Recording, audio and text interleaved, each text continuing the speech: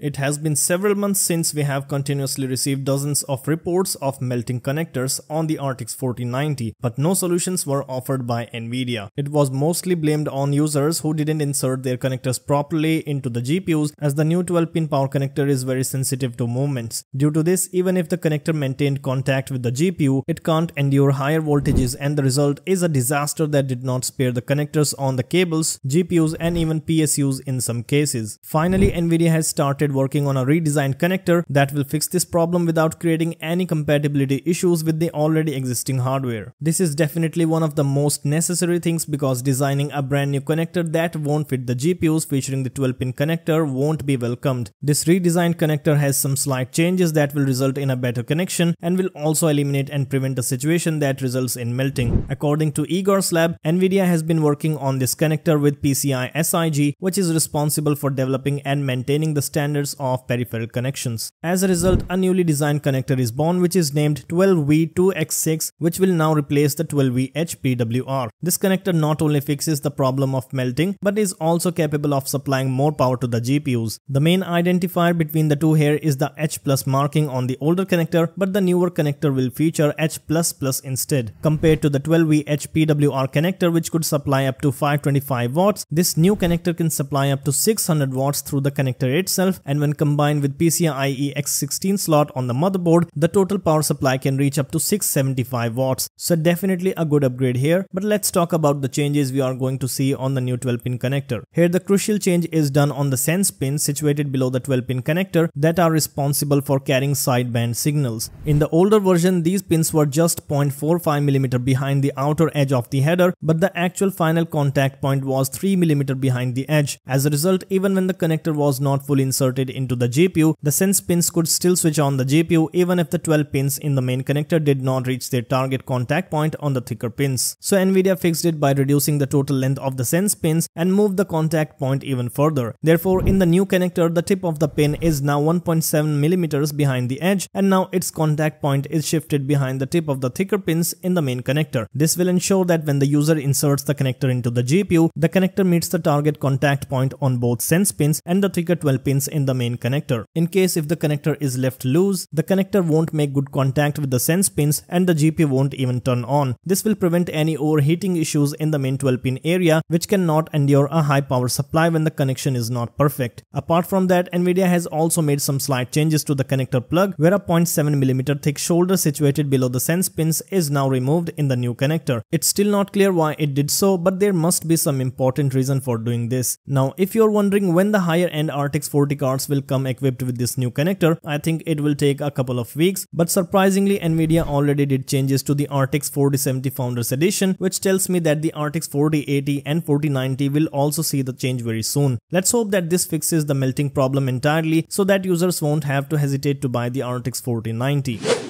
Now before moving on, if you are enjoying the content till now, then consider subscribing to the channel. Here I cover the most interesting stories right after their breakout and all you need to do is click on the subscribe button so you never miss any videos again.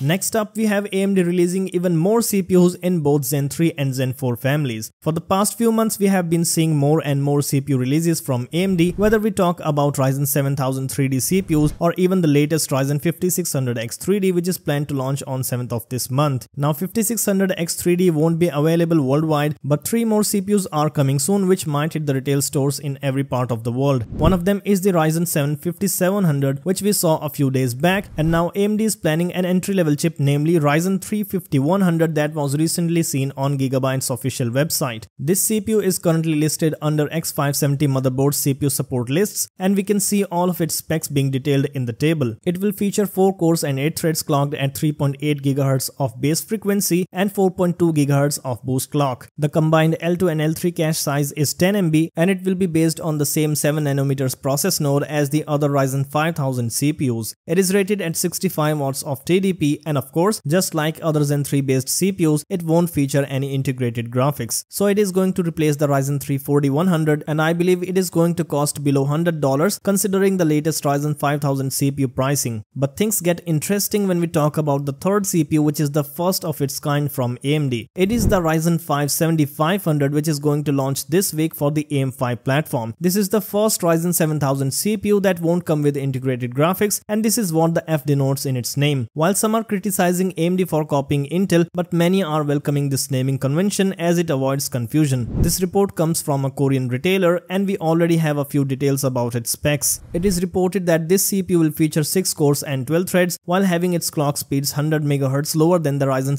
7600. Other specs are supposedly identical. As for the price, it is reported to cost $10 lower than the Ryzen 7600 and that means it is going to cost somewhere around $210. At this price, it makes much more sense to go with the 7600 considering that the latter is superior in specs and also has integrated graphics. Ryzen 7500F should have been at least 30 to $40 cheaper than the 7600 considering that AMD can use IO dies with defective integrated graphics. This way not only the defective IO dies can be used for making more CPUs which will benefit AMD but will also benefit the users who want to spend less than $200. So the CPU war is getting fiercer than before especially in the sub $250 category where we have almost a dozen CPUs from both AMD and Intel that provide fantastic price to performance ratio. We now need to wait and see if Ryzen 7500F can beat the Core i5-13400F which will be its direct competitor. Until then you can watch these recent videos if you have missed them. Lastly, if you like the content then hit the like button and subscribe for more videos like this. Turn on the notifications for more upcoming videos and I will see you in the next one.